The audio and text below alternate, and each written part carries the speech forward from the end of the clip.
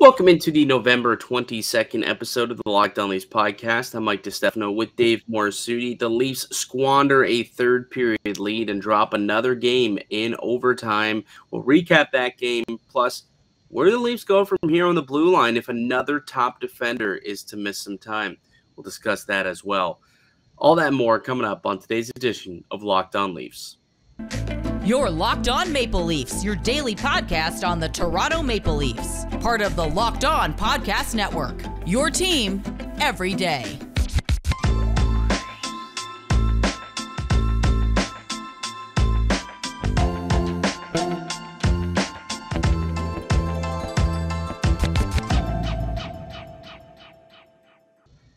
And welcome to the Locked On Leafs podcast, one stop shop for all things Leafs. I'm your host, Mike DiStefano from TSN 1050 Toronto Radio, uh, also known as Al's brother on TSN's Overdrive and TSN 1050's Leafs Lunch. Joining me, it's my co host, Dave Morassutti from Sportsnet, also a writer for the NHLPA. Locked On Leafs is a daily Maple Leaf centric podcast, so be sure to subscribe for free wherever you get your podcast from. You can also now catch us up on video format on YouTube. Search up Locked On Leafs and uh, get new daily Leafs content directly to you each and every day. Uh, all Leafs all the time. Make sure you're subscribed to Locked On Leafs. All right, Toronto uh, failing to pick up the full two points against the New York Islanders last night. Took a 2 1 lead into the third period. A bad giveaway, a little blunder there from Erik Källgren, and uh, game ends up in overtime. And three on three has become this team's kryptonite, Dave. I I just can't believe I, I was in the Discord chat, literally calling for the Leafs to just be able to make one single pass. That's all I was asking for, and they I could mean, not do that. They couldn't. Like I, I, I don't think I've seen in a long time, at least, um, two icings in the first like forty seconds in a shift in three on three overtime what what annoyed me about that was just kind of how nonchalant they were about that too. Like, guys, you're being paid. Nylander and and Matthews are being paid almost combined seventeen million dollars and could not complete a pass to each other in three on three overtime. Yeah, like, Nylander almost gives the puck away. oh, and he almost gives the puck away on a break. Yeah, uh, on a breakaway too. And I'm just like, like I would have. I mean, and the problem was, it's like get them off the ice. Well, you can't because they're icing the puck. Exactly. like the part he, about it. He, he did give the puck away actually, and it turned out to be a really good scoring chance, and Källgren was able to make the stop. But you know, when when you're making multiple mistakes though in overtime, and you're giving opportunities to the Islanders, uh, eventually they were going to score, and they did. Uh, Anthony Beauvillier, really nice shot off the rush, ends up beating um, Erik Källgren, and you noted it. You know the mistake there, the, the lazy play by by Willie Nylander. In a way, kind of cost him a shift because out came Matthews, but it wasn't Nylander that followed him. It was Michael Bunting who ended up following Nylander, who lost his man. Beauvillier gets open and, and ends up getting the, the game winning goal. So, um, but that's what like five three on three overtime games that they've lost so far this year. One in five one in five, and I think they've lost five in a row. Um, and like they won in Dallas, yeah, some concerning overall concerning numbers uh, when you look at their their their play at five on five. It's it, they're at the bottom of the league the last three years. It's not even this season; the last three years. When you look at uh, for the the bottom ten players who've been on the ice for a goal against in three on three overtime, it's littered with Maple Leafs, littered with them. Um, so that it's I don't know what it is, but they've got to figure something out there. They got to start practicing their three on three play, like because this this can't continue. They're dropping points left, right, and center. I mean that's an extra five points um, that they've lost due to poor play at three on three. And to your point, and I think Mitch Marner said this yesterday in his post game press conference, they just got to make the simple passes. They got to make the simple plays, and they can't be turned the puck over in, in, in overtime because that's really when you get in trouble. You, you turn the puck over, teams on the counter attack. You're looking at a two on zero sometimes, but a two on one odd man rush, and that's what happened last night, and uh, and ended up in the back of the net. Um, so unable to get that win. Uh, overall, though, like I actually thought the Leafs played well enough to pick up the two points. It's unfortunate that you know that blunder by Källgren in the third period ended up in the back of the net, and they had to go into overtime where they just are unable to pick up victories once you get to that point because they actually had a real solid game. Um, I thought they had a lot of really good opportunities. Uh, Sorokin's just unbelievable. Like that guy's mm-hmm. so freaking good, man. Like that should have been three, four, one in the third period, but that dude just kept them in it um, long enough for them to make a mistake, and, and they were able to capitalize and, and ultimately win the game. But I thought that Toronto definitely played and, and deserved a better result last night. Yeah, they got they got goalied a little bit there, but I think this it was another one of those things where okay, you're getting goalied on the other end, but you can't be making, you know, the mistakes on the other end. Any team in the NHL is going to make make you pay for mistakes. I know the Islanders weren't exactly on, you know, firing on all cylinders in this game, but they'll take they'll take the breaks that they can get, and they did on that. I mean, Källgren. I that that's just one. You know, you're you're the backup goalie. You're trying to just don't make those types of mistakes. That's all I'm trying to say. Like you, you can't be the one putting yourself in that situation, and it, it, it hurts, but it also speaks to the Leafs had chances to put this game away and they kind of let their foot off the gas in the last few minutes there. And also, that last minute of the of regulation, like what the heck was oh, that? That's just oh, I don't know what the hell. So I was I was in the building, right? So I was there. I was up in press row, and and like the, they were actually getting booed. Like people did not like like the, the fact that they just completely killed the last forty seconds of the game just by you know, just literally pinning the holding puck the puck along the, the board. Like, what do you do? Like, play to win the game. Show a I, little. Like, I, I just didn't like that attitude. That oh, we're just gonna hold out for the for well, the overtime. Considering how bad they've played in overtime, you would think like this is the last thing we want. Let's try and get the puck up and, and go and try and score in the last 30 seconds and you know try and, and bring this thing home and not have to get to three on three. But no, they decide to to pin the puck and yeah, we were looking at each other in press row, and they're like, "Why? Like, what the hell was that?" Like that was just yeah, it was it was dumb. It was uh, it, it wasn't a good brand of hockey to watch during the final minute of the game. Um, bunch of other stuff coming from the game though. Matthews, um, you know, Tavares, nice power play goal, and uh, there was a fight that we got to talk about. Also, Morgan Rielly, um, potentially some news there. Uh, had a knee on knee with Palmieri, left the game, did not return. Uh, so I'll update. We'll update you on that situation. All that more coming up on the other side. But first, let me tell you about one of today's show sponsors, and that's BetOnline.net. It's your number one source for sports betting info, stats, and news and analysis. Get the latest odds and trends for every professional and amateur league out there, from football to hockey to basketball, soccer, esports, and more. We've got it all at betonline.net. And we're the fastest and easiest way to get your betting fix. You can head to the website today or use your mobile device to learn more. BetOnline, it's where the game starts. I'm Mike DiStefano with Dave Morassutti. Welcome back into the Locked On Leafs podcast. Uh, Toronto falling to the Islanders 3 2 in overtime last night. Um, Auston Matthews scored a goal at five on five. You know, that's that was pretty good considering you he only had two going into the game, won his last 16 games. So he was able to score. But it's it's still like it was a, a, a high tip. It wasn't even a you know a patented wrister slap shot deke. Like it, it, it just he's still not scoring in ways that Auston Matthews has been known to score.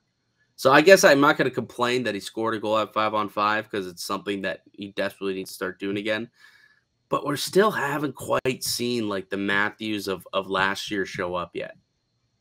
No, we're not seeing one. No, him dominate, dominate as much. Especially, you know, I don't know how. I, I didn't even look to see how his like shooting numbers. I mean, his shooting percentage is just absolutely dreadful. Well, he went into the game like sub four percent at five on five shooting, which was awful. Yeah, and and he's at ten point six on the season, which that's still not Auston Matthews like. He's in like the, you know, 16. 16 to 18% range. He was at 8 17.2 last season. He I just feel like he's just not getting his op like he's just not fighting really for those opportunities that he should be fighting for, especially in front of the net.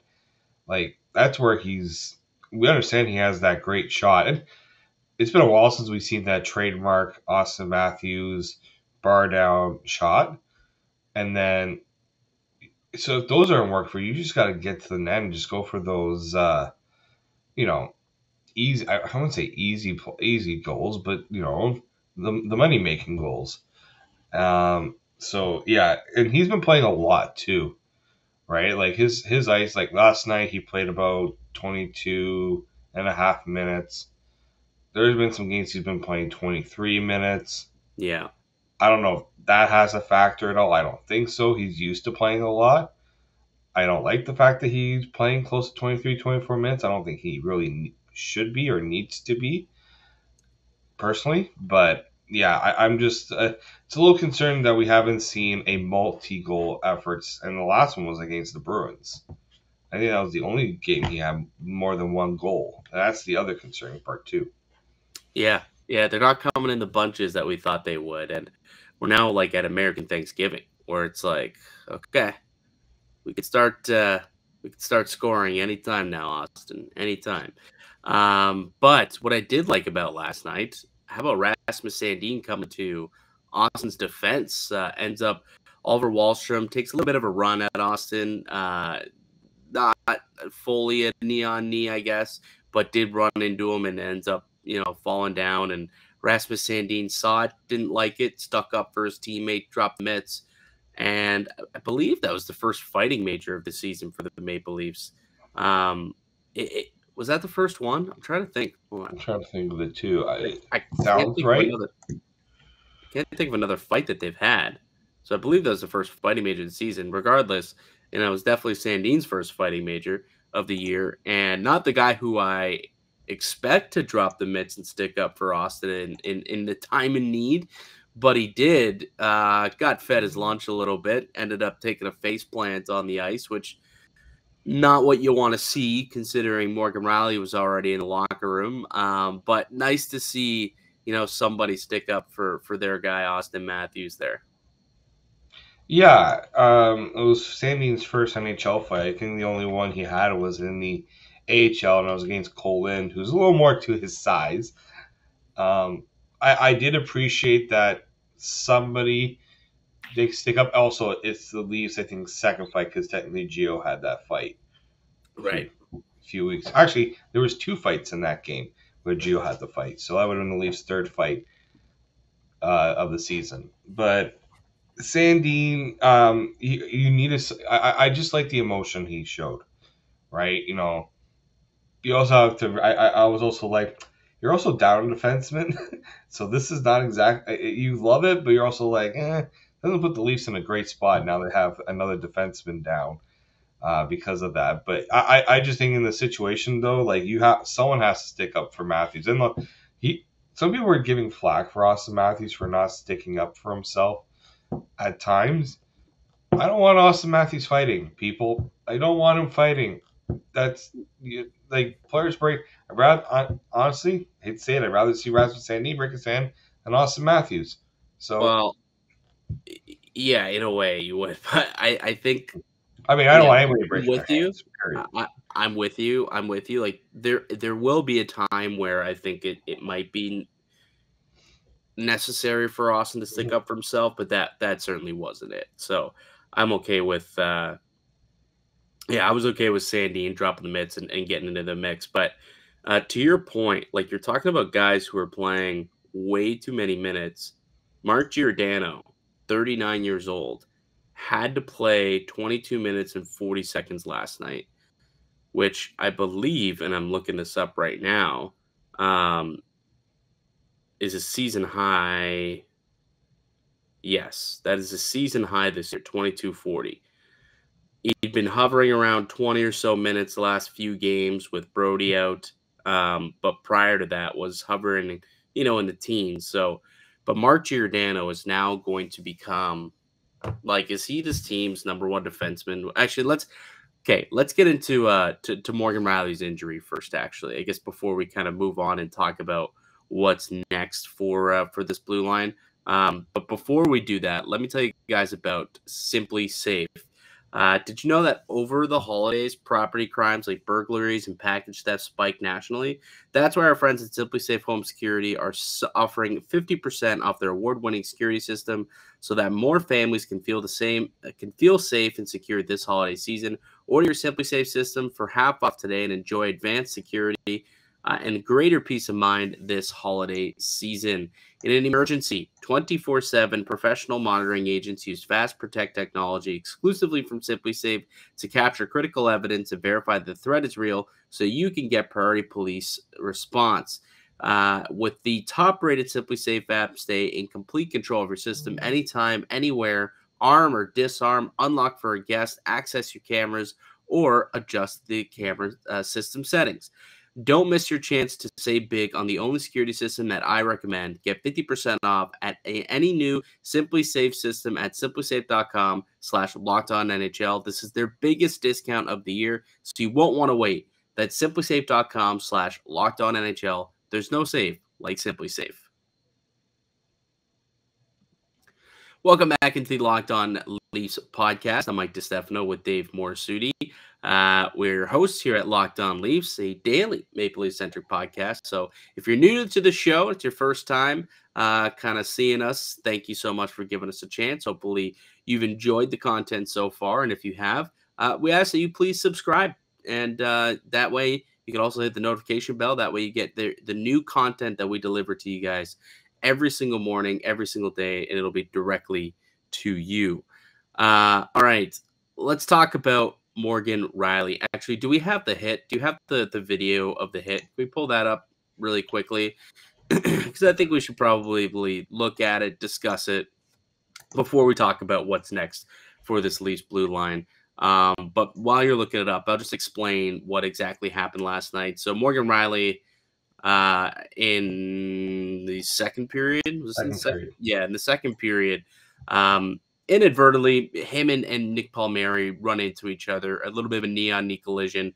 Both players go down um, with injury. And so here's the play for watching on YouTube. So, you know, just kind of trying to cut across the middle of the ice, and they both go knee on knee and end up on down on the ice for uh, for quite some time. They're both down for for you know a minute or so, um, and they both left the ice and did not return. So Morgan Rielly um, after the knee on knee did not return. He will be getting imaging done on that knee today, according to Sheldon Keefe, and they'll have more information on on you know the timeline uh, and the severity of the injury, whether it, there's a, a serious injury there or not. Like we didn't get much information last night outside of they're going to just get some Im- imaging done today, and we'll find out more. Um, but I, never good. We know that that is it's never good luck. He didn't return yesterday. Um, he was seen, you know, limping off after the after that play. Uh, I mean, this blue line does not cannot um, afford this injury, right? You already have Jake Muzzin out indefinitely, uh, potentially for the year. You've got TJ Brodie, who's not responding well to his injury with the oblique um, and won't be playing for another week at least. And now you've got your minute muncher, your best top defenseman, Morgan Rielly, who took a, a pretty, you know, serious knee on knee collision and could potentially miss some time. Uh, this this this is like bad news for the Maple Leafs. Yeah, it, like and TikTok Tomar was uh, that was the video I put up, and he put down both look okay, and I and it just like eh, I don't know, it didn't look well, great. Well, so he he, the thing is, so Rielly got up and then kind of skated off, but was mm-hmm. hunched over, but did skate off. And then Paul Palmieri was down a little bit longer. The trainer was out, looked at him, and then ended up skating off. So then it looked okay, but then they both ended up going into the locker room, and we didn't see Rielly again. So at first, yeah, okay, they looked like they were all right, but then obviously it, it, it wasn't, and Rielly did not return for the game, which says to me, okay, maybe there's something something happened there. I hope not. Like I hope we get yeah, I um, hope it's just like a little yeah, like a little bruise or something, and they come back and say, oh, you know, things look clean. The the the X-rays were negative, and he should be good to join us on the road trip. Perfect. That would be fantastic. But uh, we'll find out more information tonight. But if you know, worst case scenario, he does have to miss some time here as they go out on this road trip. They got the Devils on Wednesday, who 13 in a row now could potentially make it a franchise best 14 in a row against Toronto on Wednesday in New Jersey.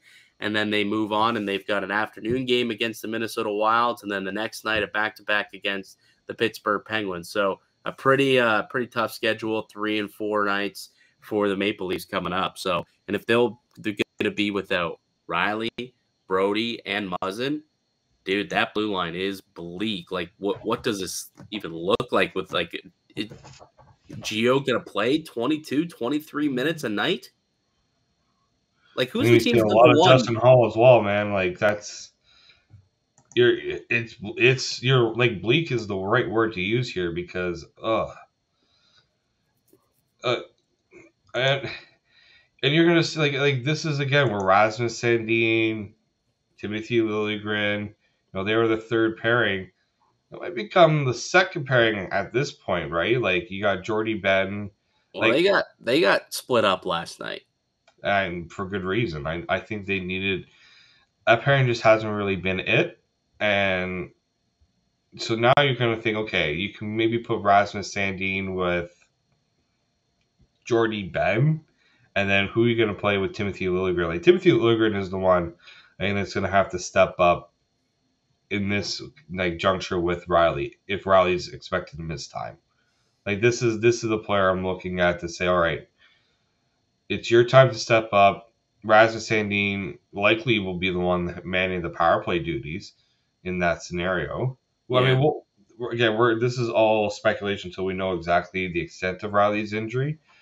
Something tells me I'm not hopeful he's going to play the next couple of games just because of you know if he's got to get further imaging done on that, that's that's a little uh, that's it just didn't scream like a something that's gonna be like minor minor.